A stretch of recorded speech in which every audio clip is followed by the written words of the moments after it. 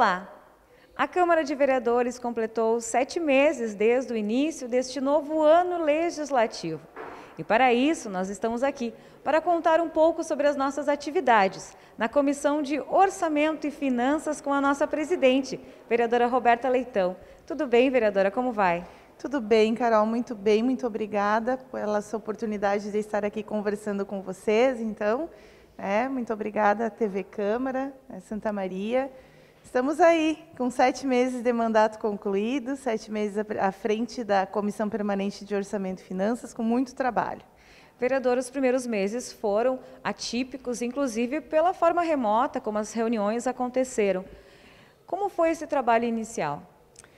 Bom, Carol, nós precisamos, né, é, com essa pandemia, com to tudo o que aconteceu, nos reinventar. Para mim já era uma reinvenção, porque eu sou uma vereadora de primeiro mandato, então eu já entrei trabalhando de forma remota. Uh, foi um momento bem complicado, mas nós soubemos passar por ele. É, os vereadores que fazem parte da COF, todos participaram muito bem, todo mundo foi extremamente colaborativo. Não foi um momento fácil, mas também aquilo que é mais difícil acaba nos fortalecendo. Hoje a COF desenvolve um trabalho muito profícuo, muito agregado, e eu acredito que essas dificuldades iniciais elas nos uniram de certo modo, sabe? Fizeram com que é, os vereadores compreendessem muito a questão do coletivo, da necessidade do participar e de todo mundo colaborar para que desse certo num cenário tão difícil. A Comissão de Orçamento e Finanças é responsável por projetos importantes né, para aprovação, entre eles o PPA, o Plano Plurianual. Eu gostaria que a senhora falasse um pouco sobre esse trabalho que vocês vêm desenvolvendo e que será aprovado aqui no Legislativo. Bom, Carol, o PPA será votado hoje, né, numa sessão extraordinária que o presidente convocou, levantando o recesso legislativo. E é importante dizer que para a COF não houve recesso. Né? É, só essa semana nós já fizemos duas reuniões, temos a próxima agora às 11 para apresentação do parecer final. E esse é, realmente o PPA, para a comunidade entender, ele é o plano plurianual. Ele é a primeira das leis orçamentárias. Ele é o plano, a lei que traz todos os programas de governo. Então, na verdade, ela traz todas as promessas do prefeito eleito, do vice-prefeito eleito, é, expressadas em programas, em políticas públicas efetivadas. Então, na verdade, ele é um, uma lei extremamente importante, porque ela vai definir os rumos de Santa Maria para os próximos quatro anos. E, ó, por óbvio, ela exige toda uma tramitação especial e muito trabalho. Como é a definição da nossa vida enquanto comunidade, enquanto cidade, por quatro anos, a comissão deliberou que nós dividiríamos os assuntos em subrelatorias. E aí o vereador Werner, o vereador Blatz, o vereador Pablo Pacheco e o vereador Maneco assumiram quatro subrelatorias e eu sou a relatora. Então, nós fizemos três audiências públicas temáticas com ampla participação da comunidade. Foi muito bonito ver esse plenário cheio, com as pessoas participando, com as entidades trazendo a sua opinião sobre o projeto que foi apresentado. Nós enxergamos e é, identificamos neste trabalho que o plano precisava ser adequado, que ele precisava ser modificado para cumprir exigências da emenda constitucional 109, que criou o parágrafo 16 no artigo 37 da Constituição Federal. Fizemos reuniões com o Poder Executivo, que nos enviou um anexo né, para organizar um pouco melhor o nosso plano.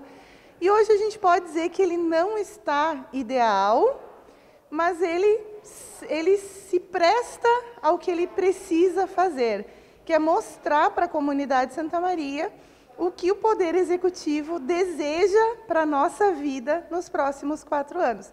Então, ele é uma lei extremamente importante, que será votada hoje, porque depois dela, então, a gente tem a Lei de Diretrizes Orçamentárias e a Lei Orçamentária Anual. tudo na sequência. Então, esse ano a COF tem muito trabalho pela frente. Muito trabalho, vereadora. É, para os próximos meses, então, a gente tem outros planos que serão analisados aqui no Legislativo. Sim. Nós teremos agora, já na sequência, a Lei de Diretrizes Orçamentárias, que é, na verdade, o PPA, ele, então, programa quatro anos e as leis de diretrizes orçamentárias fatiam este plano. Então, no primeiro ano, a gente tem uma lei que orienta como o nosso orçamento será feito, que é a Lei de Diretrizes Orçamentárias, e depois dela aprovada, nós temos que aprovar o próprio orçamento, que efetivamente é dizer, vamos receber tanto, estimamos receber tanto e vamos gastar tanto e como vamos gastar. Então, o orçamento diz exatamente isso estima quanto o município vai receber, ou seja, a receita, e fixa a despesa. Diz para a comunidade de Santa Maria, olha, a prefeitura vai gastar tanto em educação, tanto em saúde, como vai ser gasto, essa é a lei orçamentária. Então, sim, o ano promete. A COF tem muito trabalho pela frente. Muito importante destacar também que essa é a principal função do vereador, né? Fiscalizar e informar a população. Exatamente. O trabalho da COF, sobretudo no PPA, foi para garantir que esse trabalho de fiscalização, não apenas do legislativo, mas da comunidade, possa acontecer. Né? Parabéns, vereadora. Parabéns à senhora e aos demais parlamentares que compõem a Comissão de Orçamento e Finanças. A gente que agradece, Carol, a oportunidade de estar desenvolvendo esse trabalho, de estar entregando esse trabalho para a comunidade de Santa Maria. É um trabalho cansativo, exaustivo, mas que a comunidade merece. Todo cidadão tem que ter o direito, tem o direito e precisa conseguir acompanhar o que é feito com recurso público, não apenas o dinheiro público que é do cidadão, pagador de impostos, mas também com os recursos públicos que são tão escassos, né? Então essa é a nossa função, essa é a atribuição da COF, é acompanhar, fiscalizar e garantir transparência para a comunidade. Muito obrigada pela oportunidade de trazer para a comunidade de Santa Maria esses esclarecimentos. Perfeito, muito obrigada, vereadora.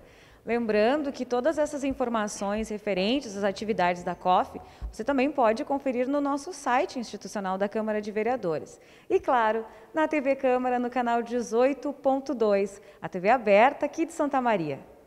TV Câmara, a tela da cidadania.